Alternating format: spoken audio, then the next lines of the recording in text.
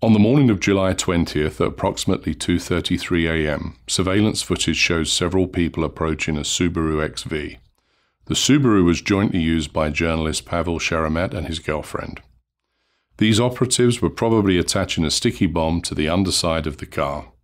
At 7:40 a.m., Sheremet began his morning commute to Radio Vesti, where he hosted a daily morning radio show.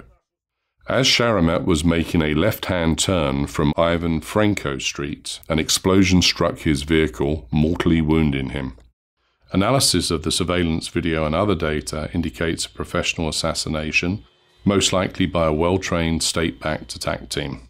Attackers knew that Sheremet's morning commute would have a 4 out of 5 chance of going through this busy intersection.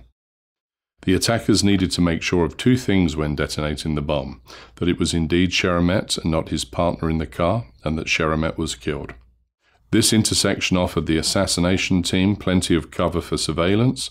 Watchers likely kept track of Sheremet's movements from one of the buildings at the intersection or from the street.